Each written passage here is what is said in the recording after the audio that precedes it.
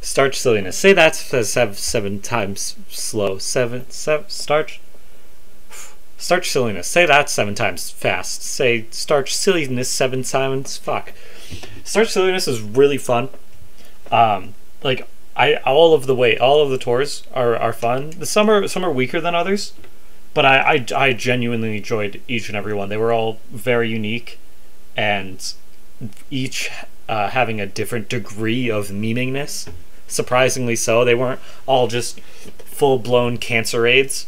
Um, some of them were, um, like the one, the fucking the the one on oil rig, with the fucking the the literal advertisements and the Among Us and the V Bucks. That was pure fucking cancer. But the the one with the the Minecraft wave, I think there's more than one. I'll be honest. The cringe one, that was my favorite. Cringe, cringe was my favorite. Um, Deluge Dirge was definitely. Uh, it was very fun to play. I think Deluge Dirge gameplay wise was the most unique. Uh, considering it was a, it wasn't like a def- defend the bomb type situation, it was a defend yourself. Um, I can crack open a cold one. This is a, a Yaba Monte, energized from organic Yaba Monte, Yakchka organic uh, tea stuff. It's blueberry flavor. That's pretty good.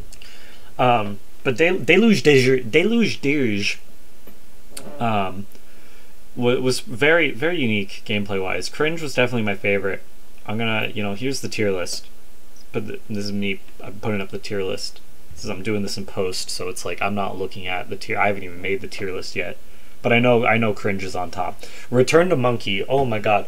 So you're you're you're looking at Return to Monkey right now, and that th- this was this was very fun. The, the all the waves were extremely unique, um, meme wise.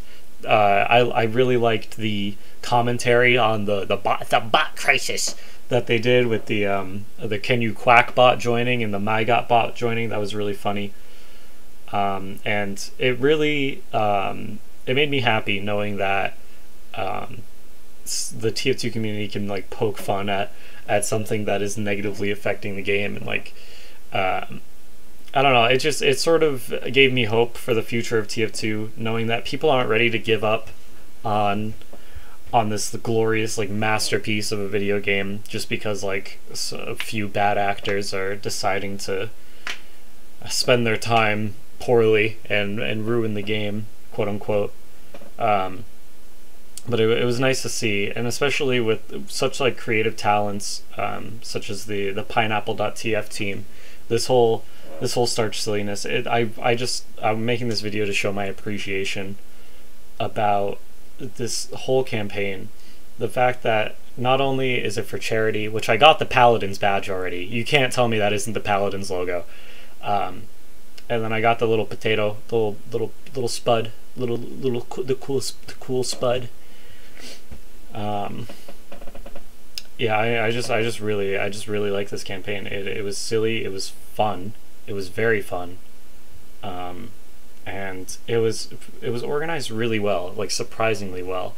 Like the the website keeps track of like all the tours that you play, and it it, like the, the the the matchmaking system is a little weird because it'll say the servers aren't full and you'll go to join them and then it'll say it's full. So it's a little hit or miss. And like when you get down to having like two tours remaining or like one tour remaining to get your little potato badge, it gets a little hard to join into the server that you need especially on wave one, so you can go through it all. But um, I recommend just like sitting in a server, just playing. You know, just play the camp, like just play the campaigns. They're very fun and they're easy too. So you can like, um, you can play like off meta strategies, uh, and and just like have fun with it. You know, there's no Taco Bot members. That's that's a plus. No, Taco Bot members are you know they're above this. They they think this is this is below them. This I wouldn't wipe my ass with with pineapple.tf says TacoBot.tf. Fuck Taco Bot. Well, so like yeah, you you know just there's no Taco Bot members. It's it's a safe space. Like no one's really like that upset if you lose, um, and it's hard to lose. It really is. Um, some some waves are slightly challenging, but like honestly, like I played through these with like four people. Like that, like I, it was hard to find a full server for the like the last tour I did. I believe it was um it was uh, Metro Malice. I completed with only like four people on my team. As long as you have like a heavy and an engie, you know, it's they're they're pretty easy.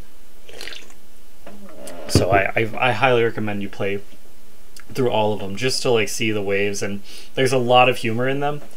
Uh, it, well, it depends on what you consider humor, but there's a lot of humor in them, subjective humor.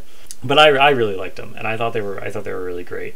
So this is just a video to show my appreciation, and to say thank you to everyone at the Pineapple.tf team.